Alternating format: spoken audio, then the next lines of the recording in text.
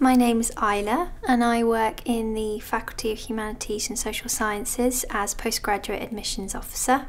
That means that I'm dealing with PhD applications from the point of submission to the point of offers being made. The first step in applying for a PhD is to find an area of research that you're interested in.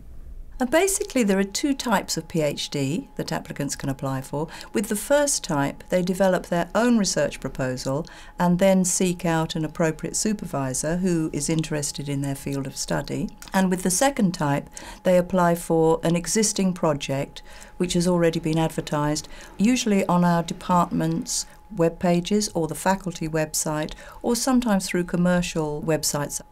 I applied for an existing research project, but they were happy to allow me to have input into how I would proceed with carrying out the research. Um, I developed my own research proposal, um, so that started obviously with coming up with the idea itself initially, but then also filling out all the forms, answering the questions and things like that. So it is it was quite a long process, um, but definitely a very rewarding one as well.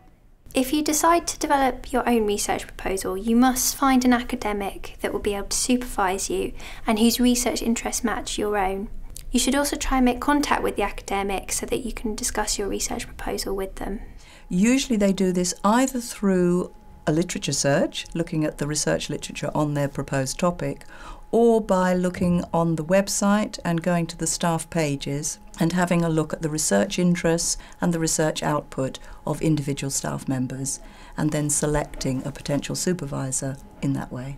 Having identified a potential supervisor, it was actually them who then pointed me in the direction of the PhD funding um, that ultimately I got. To finish off with, there is an interview um, where obviously they want to appraise you a bit more as a person because if they're going to be working with you for three or four years, you have to hope that they like you a little bit part of my scholarship, I had to do my PhD on a specific area.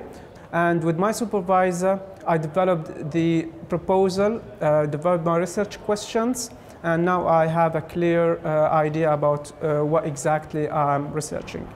To apply for a PhD, you'll need to apply online using our online application form.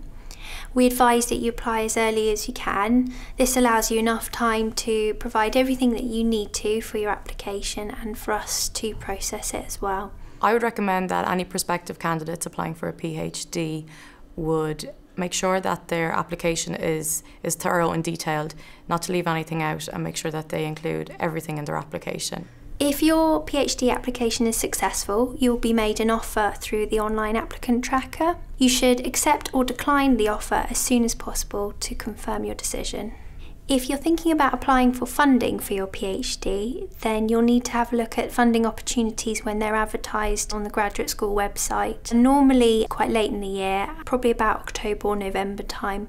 There are usually deadlines for the funding and it's important that you're aware of these deadlines so that you submit your application on time. So before embarking on my PhD, I was really apprehensive as to whether it was the right direction for me to take uh, in terms of finding jobs afterwards. Um, but now, since I've started and I've completed my first year, I realised that I have increased my employability, I've developed new skills, and I definitely know it was the right decision for me.